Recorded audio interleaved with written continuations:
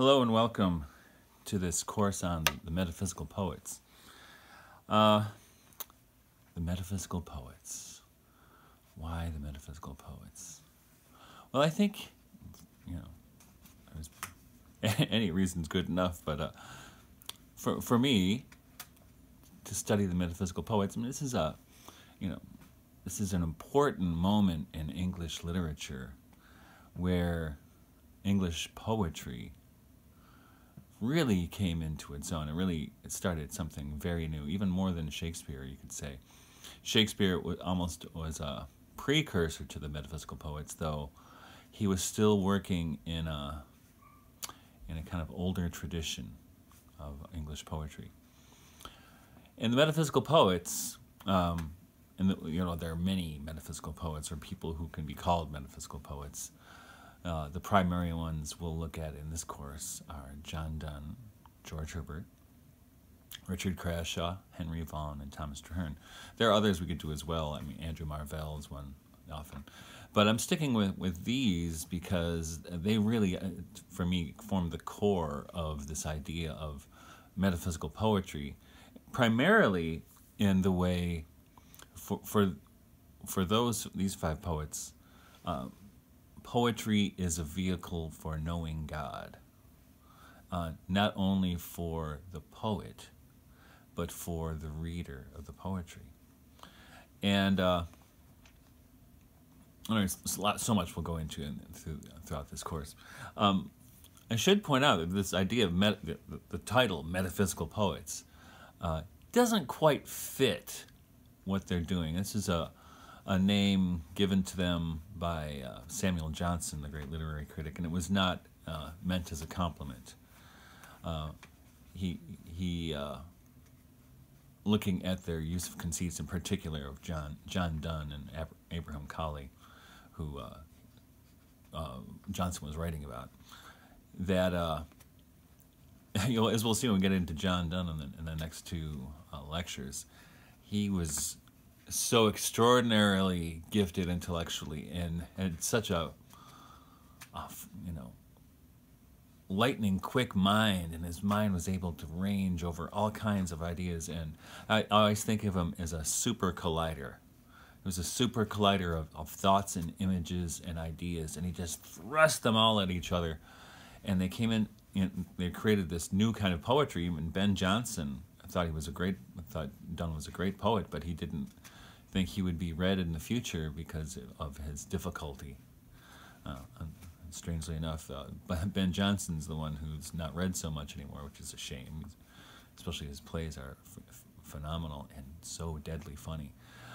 But uh, but John Donne is read, you know, at least in uh, undergraduates always encountered John Donne, even if just a few poems, but they always read him. Not so much with John, Ben Jonson, but it's part of the changing taste and changing politics of time, I suppose.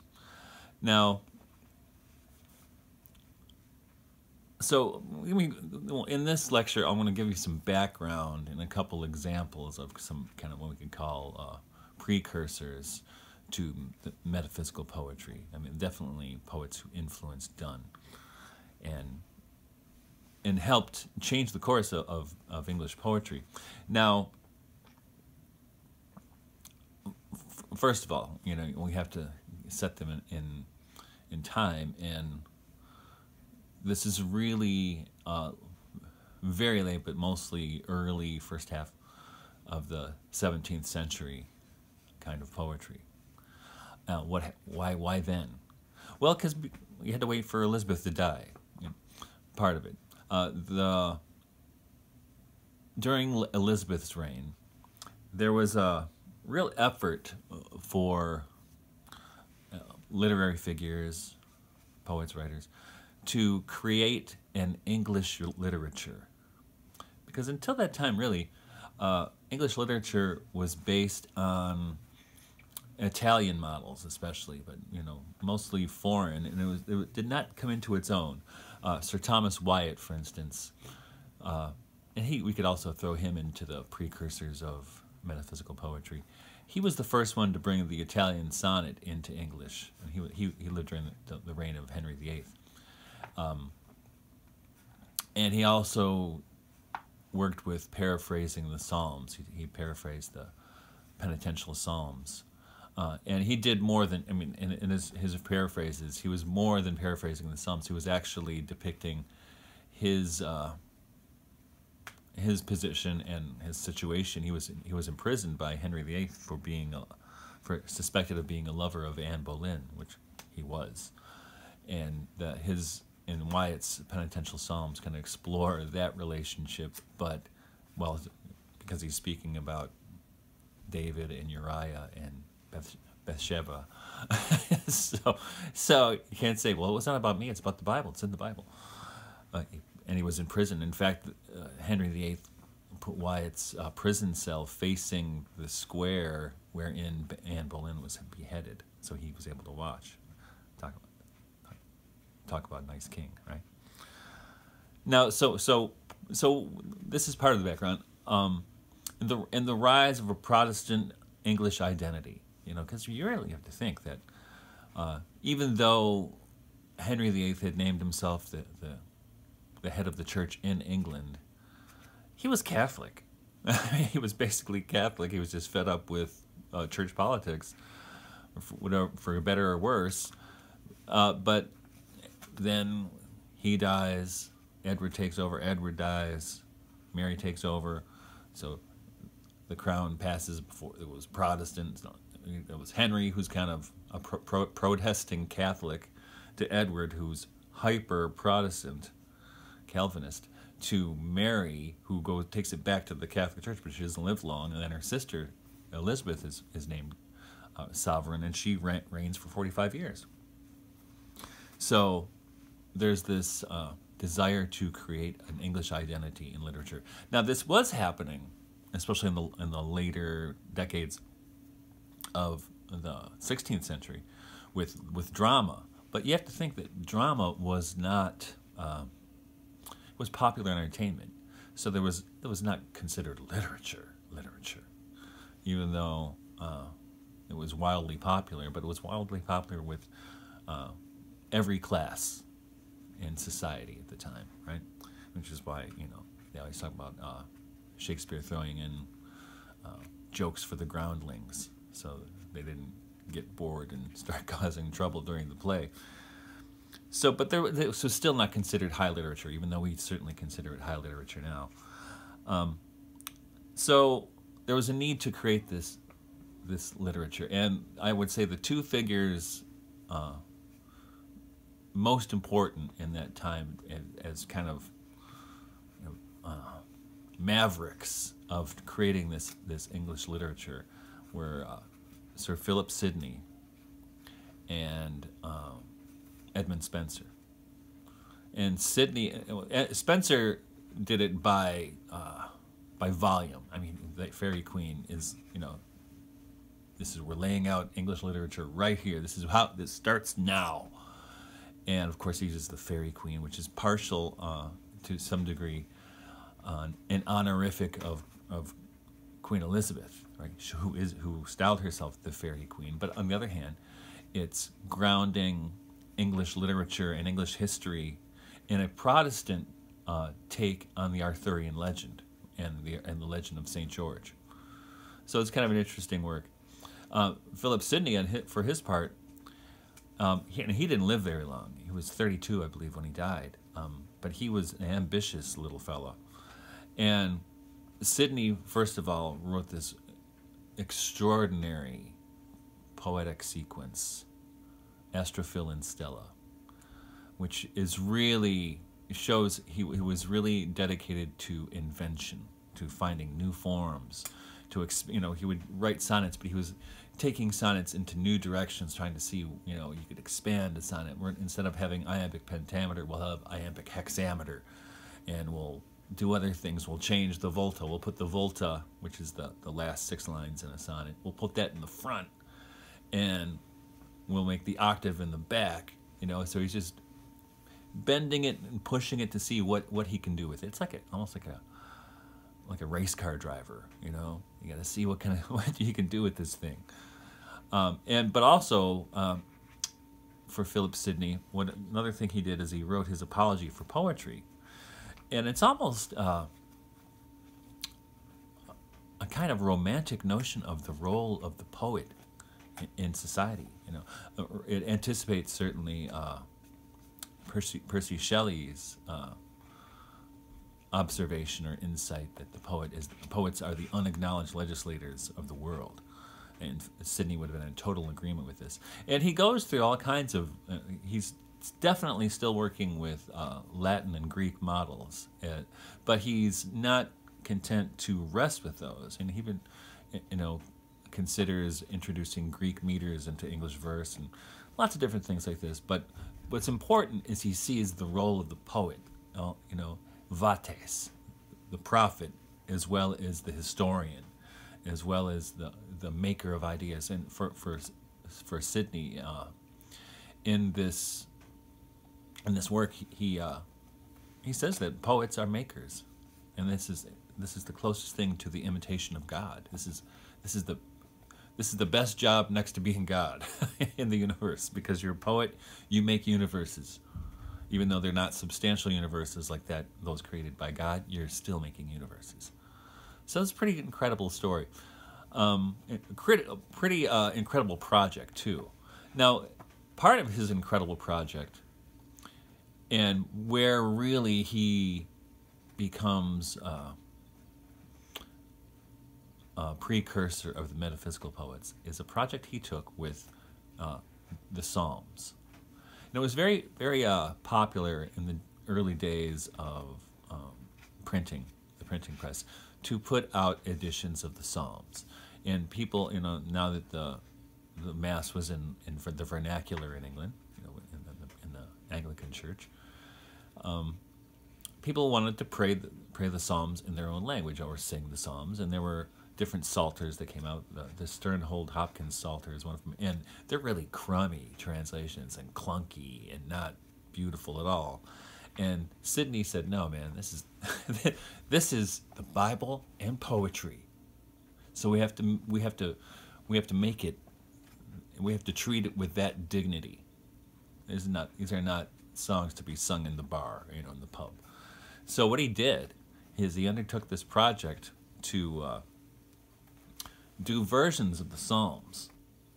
And he wanted to do all 144 Psalms. The, the interesting thing is he only he didn't make it that long because he died young. And he died after he had completed the 43rd Psalm. So, so there goes that project, right? No. Because his sister, Mary Sidney, Mary Sidney Herbert, the Countess of Pembroke, she she she was her her brother's greatest fan, and she promoted him after his death to be you know like basic, basically the English patron saint of poetry, and so she was really promoting this. She's well connected in court as well, um, and so she took up the mantle. She finished the book for him, and what's interesting about the the Sidney Psalter, as it's known now, is each psalm is written in a different form. Not one form repeats. You know, so he was inventing, he was using some of the extant forms that were available to him, like the sonnet, for instance, but or and she too. But they were. Everyone had to be different. You know, so this is a, a not only is it an experiment in Protestant uh, religious uh, writing, right, the vernacular, but also it's an assertion of the English identity as a literary identity, right, of invention, you know, and unfortunately, you know, he died at 32, but his what his, his sister lived for quite a while afterwards, and she finished the job. It, but another thing you need to understand is in those days, such manuscripts were not published. I mean, the Sidneys did not need money. So especially Mary Sidney Herbert did not need money. You know, so they wouldn't publish for money. That was something commoners did. Like uh, Spenser was a commoner, so he published for money. You know, that's how he made his living.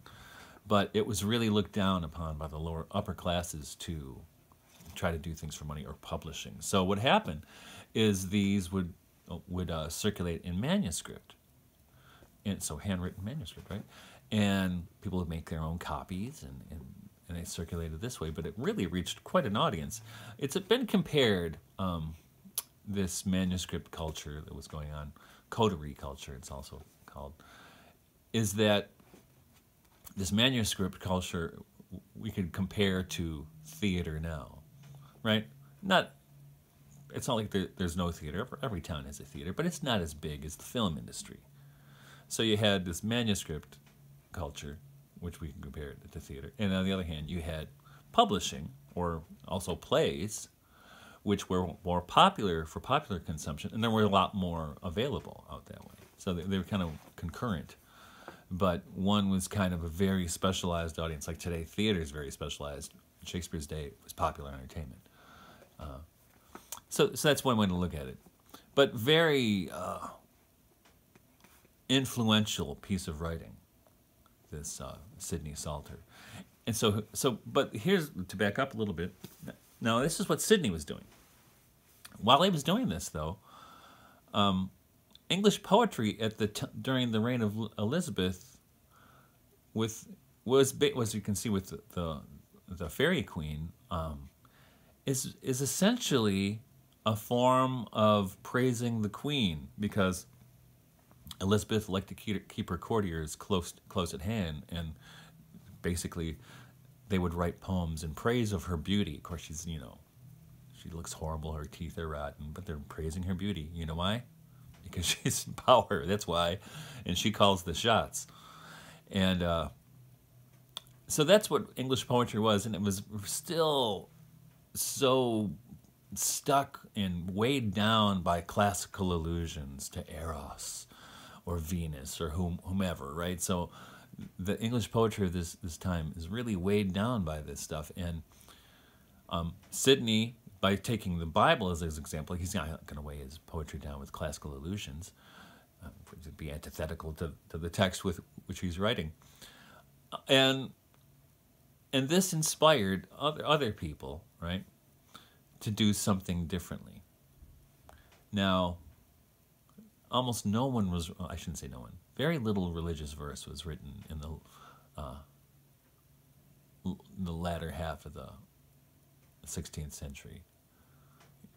I mean, there was religious verse, but it was not like it like what happened in the 17th century.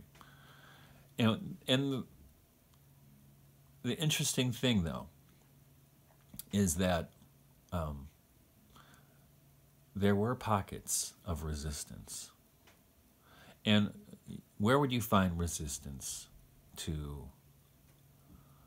English culture? It, it, was becoming more and more, I guess, Protestantized and secularized to a degree. Well, you would find it from Catholics. And in particular, the Catholic you find resisting this trend in English poetry was the Jesuit priest and martyr Robert Southwell, actually, who's called Saint Robert Southwell now. And Robert Southwell he was he was from a Catholic family, but they were not too committed, and he escaped to go to seminary on the continent. He ended up in, in Rome eventually, at the English College in Rome, where they were trained to be missionaries to their own country. And so he smuggled himself. It was against the law to be a Jesuit or even a priest in England at this time. So he smuggled himself into the country and he was ministering to the needs of, of English Catholics in hiding, right? And you probably, I don't know if you've seen television shows or read things about this, but they had, I mean, if you were caught with a, a paten or a chalice, it was a death sentence because um, Catholics were seen to be uh, in opposition to the Queen, which is the charge of treason, right? And so so here's Southwell. He's a young man. He's in his twenties. Smuggles himself back into England, and he writes. And he writes poetry, religious poetry, but it's not overtly Catholic. It, but it's you know there are definitely Catholic elements. If you're looking for Catholic elements, you'll find them. But he doesn't sign his name. They give a phony uh, publication, place of publication. They said it was in France. It was in England, and what I want to point out is what he did is he writes in one of his manuscripts, which this this piece, and it was published eventually. This piece called "The Author to His Loving Cousin," which is included in uh, in, your packet. But I'll just read the beginning of it because it's pretty important. He says, "Poets, by abusing their talent, and making the follies and feignings of love the customary subject of their base endeavors, have so discredited this faculty that a poet, a lover, and a liar are by many reckoned but three words of one signification. But the vanity of men cannot counterpoise the authority of God, who, delivering many parts of Scripture in verse, and by his apostle, willing us to exercise our devotion in hymns and spiritual sonnets, warranteth the art to be good and the use allowable and therefore not only among the heathens, whose gods were chiefly canonized by their poets, and their paynim divinity oracled in verse, but even in the Old and New Testament it hath been used by, by men of greatest piety in matters of most devotion. Going back to the Sidney psalter, right? Christ himself, by making a, making a hymn the conclusion of his Last Supper and the prologue to the first pageant of his Passion, gave his spouse a method to imitate, as, as in the office of the church it appeareth in all men a pattern to know the true use of this measured and footed style. But the devil, as he affecteth his deity and seeketh to have all the compliments of divine honor applied to his service, so hath he among the rest possessed almost most also most poets with his idle fancies. All right, so he's basically saying, poets, you can do better. No, and he's he's pointing to love poetry, which is certainly always always uh, something poets are writing about. He said, "Well, can't this be for something more?" Almost like a Saint Augustine mo- moment, you know. Um, you don't know. In the early church, the preaching wasn't a very popular enterprise in the early Catholic Church until Saint Augustine, a professor of rhetoric, showed that uh, rhetoric, the power of persuasion, could be used to benefit the gospel. Right. So, so this is kind of basically uh, Southwell is throwing down the gauntlet. Now, Southwell was executed in. Go. Southwell was executed in 1595. So, so Elizabeth is still still reigning at this time, and so this kind of verse was still kind of underground, right? And his was circulated um, in a way underground from an underground press. And uh, he's it's not until uh, Elizabeth dies in 1603 and James becomes king of the authorized version of the Bible that pardon me that that then things change. There's no longer the pressure for courtiers to to be sycophants to the queen, and James was not into poetry like that. Um, but James did con- consider himself uh, a kind of a theologian, kind of an armchair theologian. So it, it became cool or accepted to write religious verse. There was a some people, and eh, I kind of see it, don't totally agree, uh, that the idea of writing religious verse during the reign of Elizabeth was for courtly losers, which I see where, where people come up with that, that theory. Scholars come up with that theory, but I, I don't think it's totally true, but it's mostly true because most of the people writing poetry at, at the court were apple polishers. And so, so there's uh, Robert Southwell, uh, and we'll find out next time that uh, Southwell, I, I'm pretty sure, knew John Donne, and John Donne would have been a, a boy at the time. Um, well, I just noticed I dropped one of my books. Now, um, another person who was kind of a precursor, even though he's we could probably call him an early metaphysical poet. Let me grab the book I dropped. Was William Alabaster. Now, I like you know Alabaster boy. He, he's he is not taught any almost any place, and I think he's a wonderful poet interesting human being too. He was an Anglican priest, and then he was imprisoned because he became Catholic, and then became a Catholic priest. And then he eventually went back to the Anglican Church. I'm uh, mostly mostly political, and it's interesting. You'll notice with these metaphysical poets we'll, we'll examine. There's a interesting dynamic of crossing over between Catholic and Anglican, and even those, pardon me, who didn't officially change over, certainly had some uh, inclinations in that direction. Maybe Thomas Traherne is the is the one uh, exception.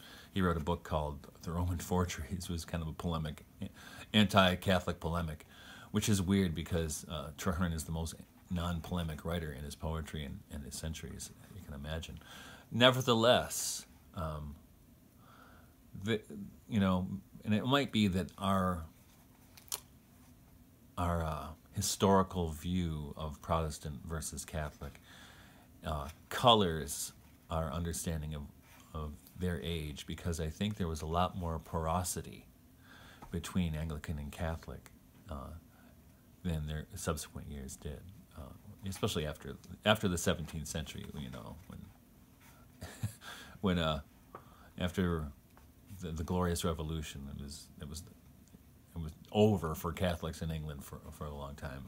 Until that point, there was still possibilities. That's what you know one of the uh, eruptions, I guess we could call the gunpowder plot uh, during the reign of James. Because James, when he came to power, he kind of indicated they would he would have leniency and tolerance for Catholics, but he clamped down instead, and, gunpowder plot was a response to that. You know, when they blew up the Houses of Parliament, they they were trying to anyway. Uh, they were pretty uh, disgusted with the government. And the Catholics, uh, Guy Fawkes and his, his conspirators. Um, but to go back to William Alabaster, interesting character. And while imprisoned, he wrote these these uh, holy sonnets. Now later, um, John Donne himself wrote a series of holy sonnets, and and the one I'm going to read right right now from uh, Alabaster has echoes in one of in, Donne, in Donne's poem, uh, I am a little world made cunningly. So here I'll, I'll read to you uh, Alabaster's poem. We'll talk about how it's metaphysical. This is number 15. My soul a world is by contraction. The heavens therein is my internal sense, moved by my will as an intelligence, my heart the element, my love the sun. And as the sun about the earth doth run, and with his beams doth draw thin vapours thence, which after in the air do condense, and pour down rain upon the earth anon. So moves my love about the heavenly sphere, and draweth thence with an attractive fire the purest argument wit can des desire, whereby devotion after may, may arise. And these conceits, digest by thoughts retire, and turn into April showers of tears. Um, interesting poem. Now, what makes it a metaphysical poem? And this is the kind of thing that later Donne will take up and the other poets. Her, Herbert probably less than Donne, but Donne definitely starts this, and this is why very often the metaphysical poets are called the school of Donne, because he was so inventive with these metaphors, these conceits. So here, Alabaster says, My soul a world is by contraction. Now, this is was kind of a radical move at this time. He's drawing on um, philosophical ideas of the, the, the macrocosm and the microcosm. But my soul, a world, is by contraction. The heavens therein is my internal sense. The heavens in the contraction are his internal sense. Moved by my will is an intelligence my heart the element, my love the sun. Right? Now, he's also part of the metaphor, right? Is uh, the way they understood the planets, right? The planets were were the bodies of angelic beings, of the intelligences, right? So the, the planets showed you, and this is how, where, how astrology works, right? As you understand, for instance, uh, the planet Venus is informed by a certain spiritual quality that it represents, and that I, that it not only represents but also um, projects or, you know, sends down to the earth, right? So you when you receive the, you know, wherever the, the, the rays of the sun or the or the moon or any of the planets, and depending on where they are in the zodiac, that influences the way reception. This is why you know my world is my contraction. So the great world, you know, the macrocosm is reflected in kind of uh, in a in a reciprocal relationship with the microcosm, and this is what he's drawing on. And now, this is takes poetry into this, you know, philosophical, theological direction, which was not typical. And they, they kind of press these metaphors, they stretch them. Now, Alabaster here does it to a certain degree. Donne does it to a ludicrous speed. I mean, he really pulls them apart and really sees what they can they can do with these. Where can we take these ideas, and how can we, and why do they do this? Um, I would say, to, you know, Donne especially, but Alabaster as well. They do this to shake us out of our complacent, uh, habit-formed ways of viewing the world. You know, that there are kind of get into your habit body. You know, you see you, you see things the same way. Well, they, sometimes you need to be shaken awake, and this is what the metaphysical poets are trying to do. They're trying to shake you awake. And when we get to Herbert, you'll see Herbert's trying to draw us our attention to how miraculous the grace of God is, and, and even in the midst of affliction, how it's there, right? How in in in uh, Alabaster right here is showing us just kind of um, how we're kind of constituted physically and metaphysically to participate in, in the universe and in, in, in God who, who governs the universe, right?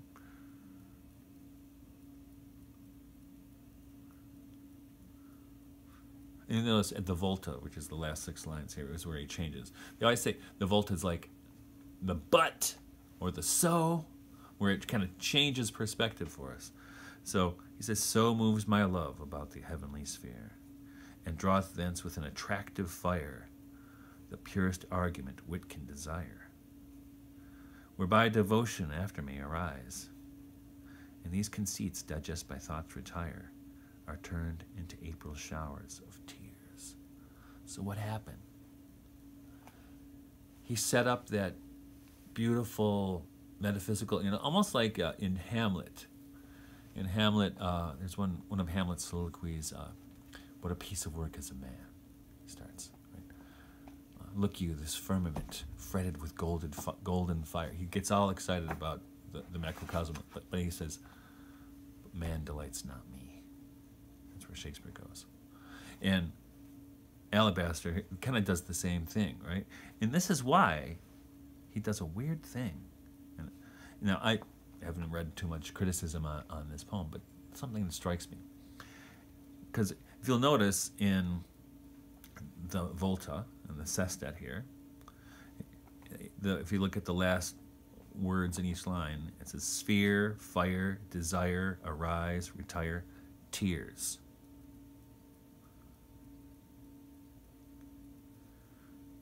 So sphere rhymes with retire and fire and where it rhymes with desire and arise rhymes with tears. Um, what? No, it doesn't. It's an off rhyme. It's a really off rhyme. It's a slant rhyme. Why? Because he's showing you how it doesn't work completely. So moves my love about the heavenly sphere, and draweth thence with an attractive fire the purest argument wit can desire. Right? I'm a purest argument wit can desire. And what is the purest argument wit can desire? Where whereby devotion may arise. So, which is devotion is not an intellectual activity. The wit can only take you so far. And these conceits, digest by thoughts retire. We, would say digested. And these conceits, digest by thoughts retire, retire, are turned into April showers of tears. So these are these are part of his penitential sonnets, right? So interesting, he, without mentioning God in this poem or sin, he brings us to this point. Pretty extraordinary work. Um, I mean, there's a couple other things I wanted to talk before we, we, we finish up for today. Uh, another thing we're going to notice as we go through uh, this series of lectures in this course um, uh, is uh, the influence of devotional literature. You see a lot of that in in in uh, Southwell. And what was also circulate around at this time in in print were all these devotional manuals, like uh, like Saint Francois de Sales or Francis de Sales, right? He, he uh, his devotional books were coming out, and they were coming. And even though Francois, uh, Saint Francois was uh, was Catholic, they would publish these books, but without somewhat well with the more Catholic parts kind of expunged, and circulate them in, for a Protestant readership because uh, the people were hungry for for this kind of devotional literature. Now that you know literacy rates were rising, and people wanted to know, you know, because now that with the Protestant Reformation, people, uh, with the, and the idea in Protestantism is that you can read the Bible and interpret for yourself. You don't need a priest to tell you what it means, which proved kind of tragic for Protestantism as well. But um, so there, this meditative tradition, Francois de Sales, uh, Louis de Granada was another one whose books were published in Protestant versions but also, and probably the most important figure in this kind of meditative literature at this time was St. Ignatius of Loyola, the founder of the Jesuit order, to which uh, belonged. Um, and in Jesuit meditation, if you've ever read or even been on the the spiritual exercises, the retreat, uh, it's an interesting uh, way to go about things, where uh, which was it was kind of unheard of. It was radical at the time it came out, where the the director of the retreat builds the picture. You you build an imaginative picture of events in Christ's life, or in events of your own life. You can you know it'll say. I should actually. It would be nice if I could read some. I don't know where my copy of. Uh, I don't know where my copy of the exercises is, but it'll say something like, "Picture yourself at the foot of the cross." Look around. What do you behold? You see his mother. You see the disciple John, right? Um, so you, he puts you in this emotional space. I mean, he's using intellectual, you know, logic and language to place you into an emotional space, so you can participate in an imaginative way in the life of Christ. So it's called building the picture, right? And leading you into the the contemplation of, of Christ's wounds or whatever, Christ's birth or whatever happens to be resurrection. And this is what uh, does uh, very often in his poetry. And here, I'll just read uh, the first stanza of Upon the Image of Death. Before my face the picture hangs. The daily should put me in mind of those, those cold, cold qualms and bitter pangs that shor- shortly I am like to find. But yet, alas, full little I do think hereon that I must die. So this is straight out of this Jesuit uh, retreat, um, you know, the exercises of St. Ignatius. And these also circulated in kind of modified versions for a Protestant audience and also, for, of course, for a Catholic audience. So what we have with, uh, with Southwell is uh, this presence of uh, what we call the, the Ignatian tradition of spirituality, the Ignatian exercises. And uh, Louis Martz, in a book, I think it was written in 59, if I'm not mistaken, early 60s. Uh, the Poetry of Meditation.